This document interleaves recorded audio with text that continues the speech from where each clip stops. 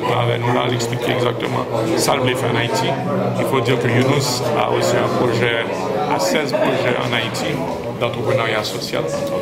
La Fondation Deutsche Bank aussi vient d'annoncer ce matin qu'elle donne 1 million de dollars à la Fondation Yunus qui a déjà eu, qui a 8 millions de dollars pour faire incubateur pour les petites et moyennes entreprises, pour les jeunes entrepreneurs. C'est-à-dire qu'on capable d'investir aux jeunes qui n'ont pas capable la banque, ou une idée, voilà, beaucoup de Yunus et Deutsche Bank qui sont complètement passagers, fait que par 1 million de dollars additionnels, il y a 8,4 millions de dollars pour encourager les gens à faire petites et moyennes entreprises donc, il y a des gros investissements, il y a des petits investissements, il y a des autres qualités de que vous faites, et il y a des entrepreneuriats sociaux pour qui conformes à la réalité de leur pays.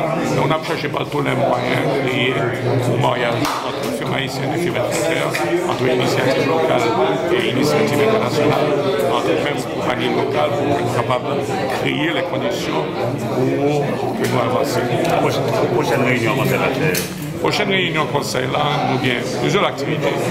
Mais prochaine réunion conseil là, ça fait fait Mais entre-temps, nous avons presque activités qui avoir lieu. Nous avons des conférences euh, d'investissement à Washington que nous avons organisées avec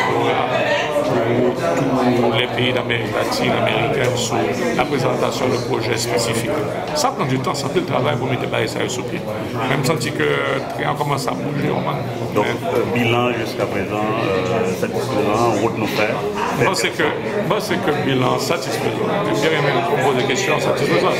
Et dans les la meilleure.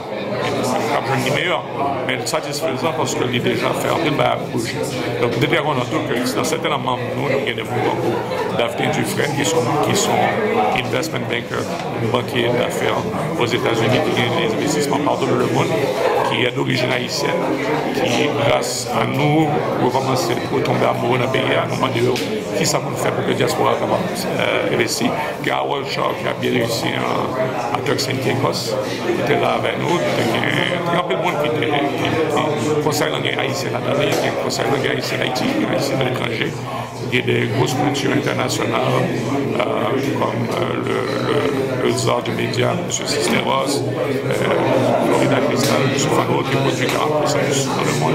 Il y a toute qualité de monde, il y a présidence là, je veux dire, il y a des Brésiliens, il y a des Uruguayens, il y a des Argentins.